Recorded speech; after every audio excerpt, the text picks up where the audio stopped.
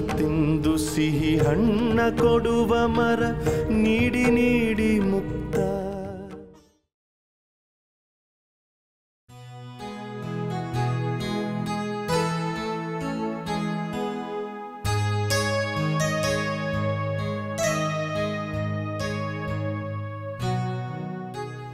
Uncle ನೀವು ತುಂಬಾ tension ಮಾಡ್ಕೊಂಡಿದ್ದೀರಾ? ಹಾಗೇನಿಲ್ಲಮ್ಮ.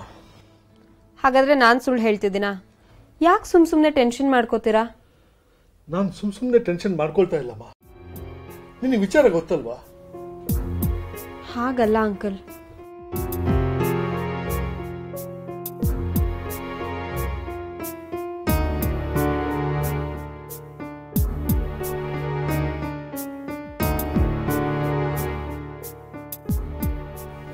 ನಿಮ್ಮ ಅಣ್ಣನ ಮಕ್ಕಳ ಹತ್ರ ಮಾತಾಡಿದ್ರಾ? ಚೆಕ್ ಬೌನ್ಸ್ ಆದ ವಿಷಯ? ಶ್ರೀಧರನ್ ಕೈಲಿ ಫೋನ್ ಮಾಡಿಸಿದ್ದೀನಿ. ಇನ್ನೇನು ಬರ್ಬೋದು ಅವರು? ಸುಮ್ಮನೆ ಬಿಡಲ್ಲ ಅವ್ರನ್ನ ಅಂಕಲ್ ಪ್ಲೀಸ್ ಅವ್ರು ಬಂದಾಗ ಪೇಷನ್ಸ್ ಕಳ್ಕೊಂಡು ಮಾತಾಡಬೇಡಿ. ನೀವು ಪೇಷನ್ಸ್ ಕಳ್ಕೊಂಡು ಮಾತಾಡಿದ್ರೆ ಪರಿಸ್ಥಿತಿ ವಿಕೋಪಕ್ಕೆ ಹೋಗುತ್ತೆ. ಆಮೇಲೆ ಅದು ಎಫೆಕ್ಟ್ ಆಗೋದು ನಿಮ್ಮ ಆರೋಗ್ಯದ ಮೇಲೆ. ಕೋಟಿ ಕೋಟಿ ಹಣಕ್ಕಿಂತ ನಿಮ್ಮ ಆರೋಗ್ಯ ಅಮೂಲ್ಯ. ನಿನ್ನ ಕನ್ಸನ್ಗೆ ತುಂಬ ಥ್ಯಾಂಕ್ಸ್ ಅಮ್ಮ. ನನ್ನ ಯೋಗಕ್ಷೇಮ ನೋಡ್ಕೊಳ್ಳೋಕೆ ಅಂತ ಬಂದಿರೋರು ಅವರು. ನಾನು ದುಡ್ಡು ಹೊಡ್ಕೊಂಡು ಊರು ಸುತ್ತಾ ಇದ್ದಾರೆ. ಆದರೆ ನೀನು ಯಾವ ಜನ್ಮದಲ್ಲಿ ನನ್ನ ಮಗಳಾಗಿದೆಯೋ ಏನು? ಈ ಜನ್ಮದಲ್ಲಿ ಇಷ್ಟೊಂದು ಸೇವೆ ಮಾಡ್ತಾ ಇದೆಯಾ?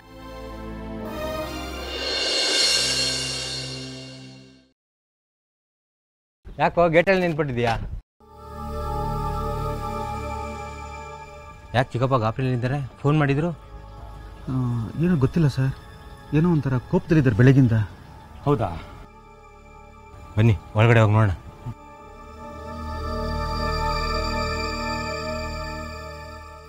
ಬಂದರು ಅನ್ಸುತ್ತೆ. ನೋಡಿ ನೀವು ಟೆನ್ಷನ್ ಮಾಡ್ಕೊಂಡು ಅವ್ರ ಹತ್ರ ಮಾತಾಡಬಾರ್ದು.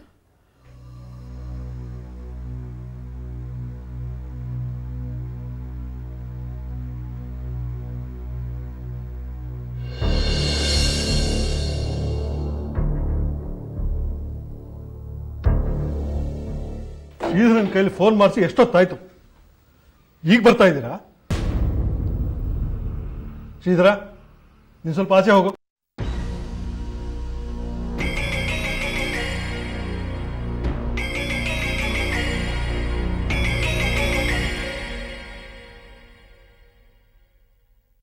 ಎಲ್ಲಿ ಹೋಗಿದ್ರಿ?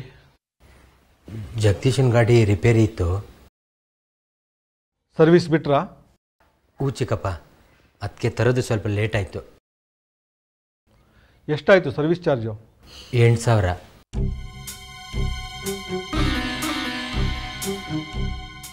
ಮಹೇಶ ನಿಮ್ಗೆ ನಾನು ಸ್ಕೂಟ್ರ್ ಕೊಡಿಸಿ ಎರಡು ವರ್ಷ ಆಯ್ತಲ್ಲ? ಕೂಚಿಕಪ್ಪ ಚಿಕ್ಕಪ್ಪ. ನೋಡು ಅದು ತುಂಬ ಹಳೇದಾಯಿತು. ಪದೇ ಪದೇ ರಿಪೇರಿಗೆ ಬರ್ತಾ ಇದೆ. ನೀವ್ಯಾಕೆ ಒಂದು ಹೊಸ ಸ್ಕೂಟ್ರ್ ತೊಗೋಬಾರ್ದು?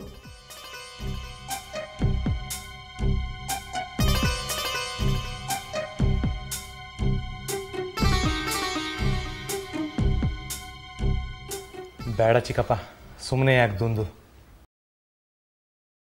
ಅರೆ ಹೊಸ ಸ್ಕೂಟ್ರ್ ತಗೊಳ್ಳೋದು ದುಂದ? ಖಂಡಿತ ಇಲ್ಲ. ನೋಡಿ ನೀವು ಹಳೆ ಸ್ಕೂಟ್ರ್ ಮಾರಿ. ಹೊಸ ಸ್ಕೂಟ್ರ್ ತಗೊಳ್ಳಿ. ನಾನು ದುಡ್ಡು ಕೊಡ್ತೀನಿ.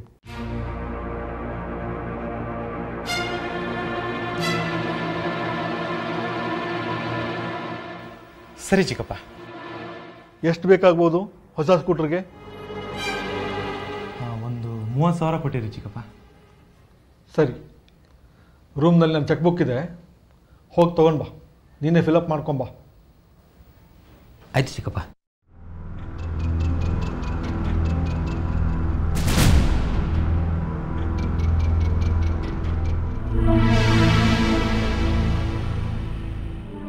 ಏನೋ ಇವತ್ತು ಚಿಕ್ಕಪ್ಪ ಬೇರೆ ಥರ ನಡ್ಕೊಳ್ತಾ ಇದ್ದಾರೆ?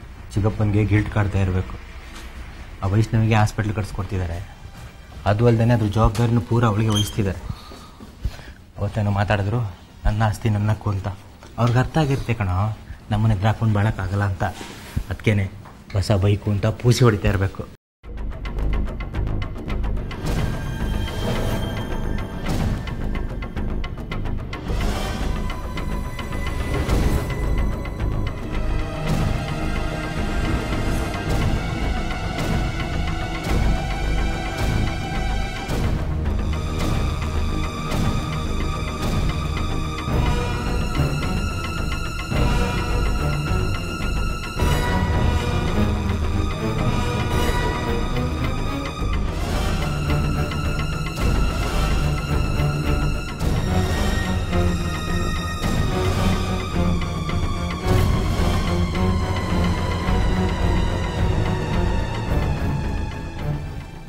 ಮಹೇಶ ಏನಾದರೂ ಹೆಚ್ಚು ಕಡಿಮೆ ಆಗೋದ್ರೆ? ಏಯ್ ನೀನು ಯಾಕೋ ಟೆನ್ಷನ್ ಮಾಡ್ಕೋತೀಯ? ಇಷ್ಟು ದಿನದಿಂದ ಏನು ಹೆಚ್ಚು ಕಮ್ಮಿ ಆಗದೆ ಇರೋದು ಇವಾಗ ಆಗ್ಬಿಡ್ತಾ. ಎದ್ ಬಾರ.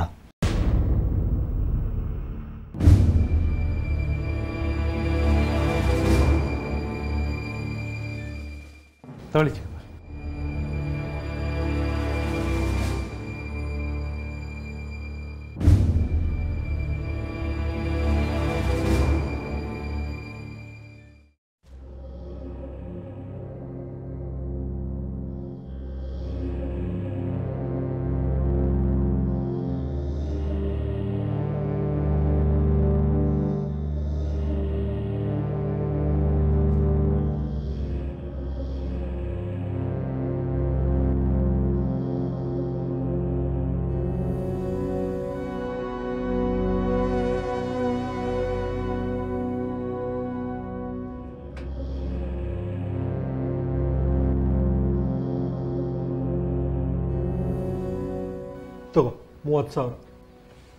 ಇವತ್ತೇ ಹೊಸ ಗಾಡಿ ತಗೋ. ಥ್ಯಾಂಕ್ ಯು ಚಿಕ್ಕಪ್ಪ. ಚಿಕ್ಕಪ್ಪ ಬರ್ತೀವಿ. ಬಾರ ಜಗದೀಶ.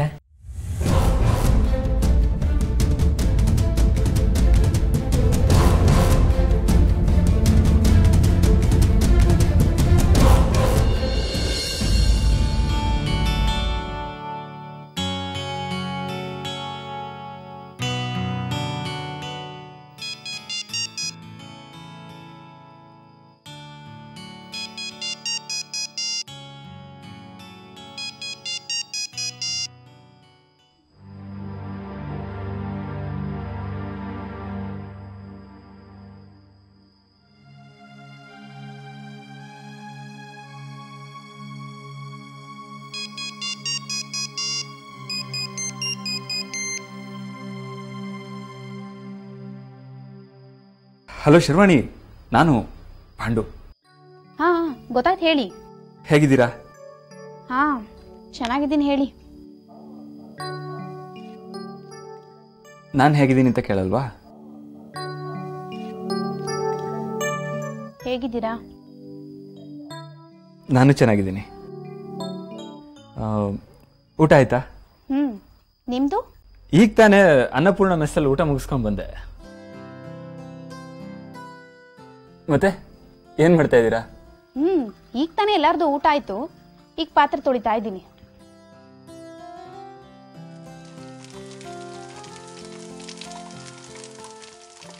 ಎಲ್ಲರೂ ಊಟ ಮಾಡಿದ ತಟ್ಟೆ ನೀವು ತೊಳೆಯೋದಾ? ಹ್ಮ್ ಕೇಳಿಸ್ಕೊಂಡಿಲ್ವಾ ನೀವೇ ಈಗ ನೀರಿನ ಸೌಂಡ್ನ? ನಿಮ್ಗೆ ಎಷ್ಟು ಕಷ್ಟ ಆಗಿರ್ಬೇಕಲ್ಲ? ಹಾಗೇನಿಲ್ಲ. ಆ, ಹಾಗಂತ ನೀವು ಹೇಳ್ತೀರಾ ಅದು ನಿಮ್ಮ ದೊಡ್ಡ ಗುಣ. ನೀವು ತುಂಬ ಒಳ್ಳೆಯವರು ಶರ್ವಾಣಿ. ನಾನು ನಿಮ್ಮನ್ನು ಮದುವೆ ಆದಮೇಲೆ ತುಂಬ ಚೆನ್ನಾಗಿ ನೋಡ್ಕೋತೀನಿ ರೀ ಎಲ್ಲ ಕೆಲಸಕ್ಕೂ ವರ್ಕರ್ಸ್ ನೀಡ್ತೀನಿ ರೀ ನಿಮ್ಮನ್ನ ರಾಜ್ಕುಮಾರಿ ಥರ ನೋಡ್ಕೋತೀನಿ. ನೀವು ತುಂಬ ಚೆನ್ನಾಗಿರ್ತೀರಿ ಶರ್ವಾಣಿ?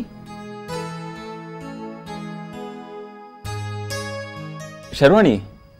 ಹಾ. ಯಾಕೆ? ಏನು ಮಾತಾಡ್ತಾ ಇಲ್ಲ? ಅದು ನನಗೆ ಏನು ಹೇಳಬೇಕಂತಾನೆ ಗೊತ್ತಾಗ್ತಾ ಇಲ್ಲ. ತುಂಬ ಸಂತೋಷ ಆದಾಗ ಹೀಗಾಗತ್ತೆ. Don't worry Sharvani. ಶರ್ವಾಣಿ ನಾಳೆ ಸಿಗ್ತೀರಾ? ಯಾಕೆ?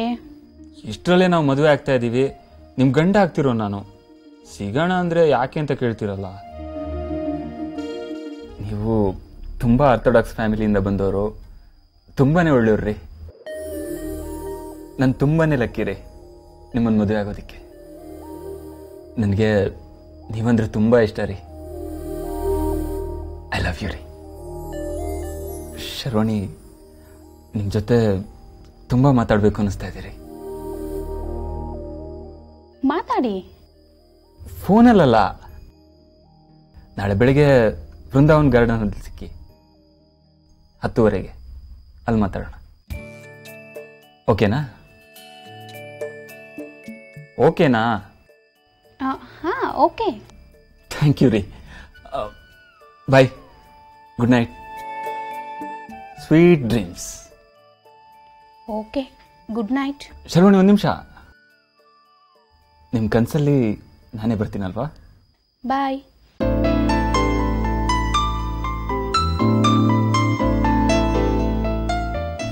ನಾಚಿಕೆ.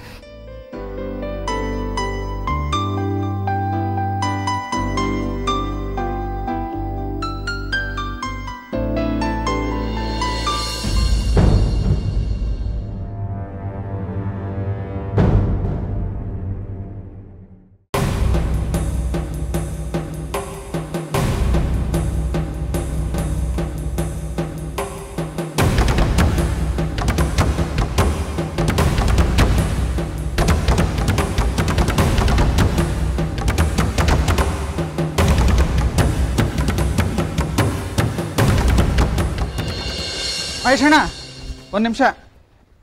ಸಾಹೇಬ್ರು ಬರ್ತಾ ಇದ್ರೆ ಏನು ಹೇಳ್ಬೇಕಂತೆ? ಯಾಕಂತೆ? ಗೊತ್ತಿಲ್ಲ. ಜಗದೀಶ ಮಹೇಶ. ಚಿಕ್ಕಪ್ಪ? ಒಂದು ನಿಮಿಷ.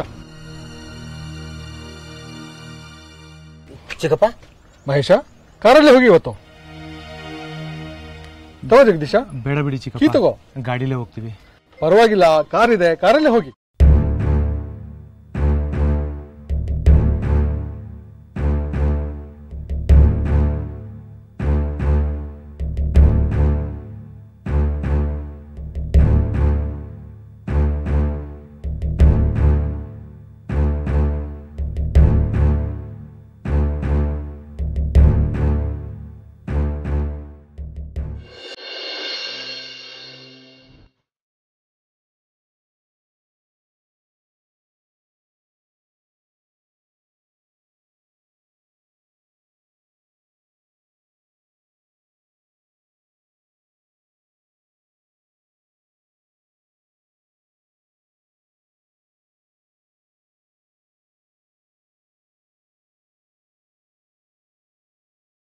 ಒಳಗೆ ಬನ್ನಿ.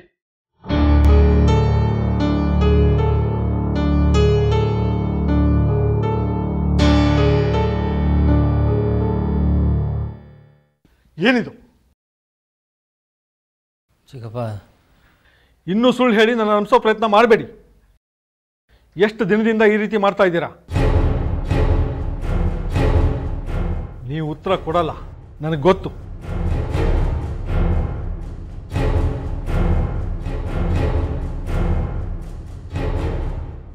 ಇದು ನೋಡು. Bank passbook. ಆರು ತಿಂಗಳ ಹಿಂದೆ ನನ್ನ ಅಕೌಂಟಲ್ಲಿ ಮೂವತ್ತೈದು ಲಕ್ಷ ಇತ್ತು. ಆಸ್ಪತ್ರೆ ಖರ್ಚು, ಅದು ಇದು ಅಂತ ಒಂದು ಹತ್ತು ಲಕ್ಷ ಆಗಿರ್ಬೋದು. ನನ್ನ ಅಕೌಂಟಲ್ಲಿ ಇನ್ನೂ ಇಪ್ಪತ್ತೈದು ಲಕ್ಷ ಇರಬೇಕಾಗಿತ್ತು. ಆದರೆ ಇರೋದು ಬರೀ ಎಂಟು ಲಕ್ಷ. ಹದಿನೇಳು ಲಕ್ಷ ನೀವು ಈ ರೀತಿ ಮೋಸ ಮಾಡಿ ನುಂಗ್ ಹಾಕಿದ್ದೀರ? ನಾನು ಏನು ಕಡಿಮೆ ಮಾಡಿದ್ದೆ ನಿಮಗೆ? ನಾನು ಈ ರೀತಿ ಮೋಸ ಮಾಡೋದಕ್ಕೆ? ನಮ್ಮ ಅಣ್ಣನ ಮಕ್ಕಳು ಅಂತ ನಮ್ಮ ಮನೆಗೆ ತಂದಿಟ್ಕೊಂಡೆ. ನಿಮಗೆ ಅಂತ ಒಂದು ಬಿಸ್ನೆಸ್ ಮಾಡಿಕೊಂಡೆ. ನೀವು ಕೇಳಿ ಕೇಳಿದಾಗ ನೀವು ಕೇಳಿದಷ್ಟು ದುಡ್ಡು ಕೊಟ್ಟೆ. ಆದರೆ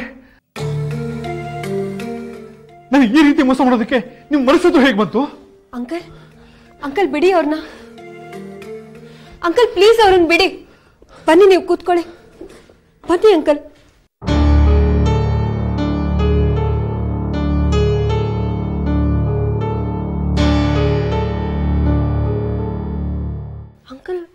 ಏನಾಯ್ತು ನಿಮಗೆ? ಯಾಕೆ ಇಷ್ಟೊಂದು ಟೆನ್ಷನ್ ಮಾಡ್ಕೋತಿದ್ದೀರಾ? ಇವ್ರು ನನ್ನ ದುಡ್ಡು ಹೊಡೆದ್ರು ಅಂತ ನನಗೆ ನೋವಾಗ್ತಿಲ್ಲಮ್ಮ. ಇವರು ನನ್ನ ನಂಬಿಕೆಗೆ ಮೋಸ ಮಾಡಿದ್ರು. ಅದಕ್ಕೆ ನೋವಾಗ್ತಾ ಇದೆ. ನೀನು ಯಾರೋ? ನನಗೆ ಸಂಬಂಧ ಇದೆ ಇರೋರು. ನನ್ನ ಬಗ್ಗೆ ಇಷ್ಟೆಲ್ಲ ಕನ್ಸರ್ನ್ ತೋರಿಸ್ತಾ ಇದೆಯಾ? ಆದರೆ ಇವರು? ನಮ್ಮ ಅಣ್ಣನ ಮಕ್ಕಳು. ನಮ್ಮ ಮನೆಯಲ್ಲೇ ಇರೋರು. ಅವರು ನನಗೆ ಇಷ್ಟು ಅನ್ಯಾಯ ಮಾಡ್ತಾರೆ ಅಂದರೆ? ಅದಕ್ಕೆ ಕೋಪ ಬರುತ್ತೆ. ಸಾರಿ ಚಿಕ್ಕಪ್ಪ. ಶಡಪ್ ಸಾರಿ ಕೇಳೋ ಯೋಗ್ಯತೆಯೂ ಇಲ್ಲ ನಿಮಗೆ. ನಿಮ್ಮ ಮುಖ ನೋಡೋದಕ್ಕೂ ನನಗೆ ಅಸಹ್ಯ ಆಗುತ್ತೆ.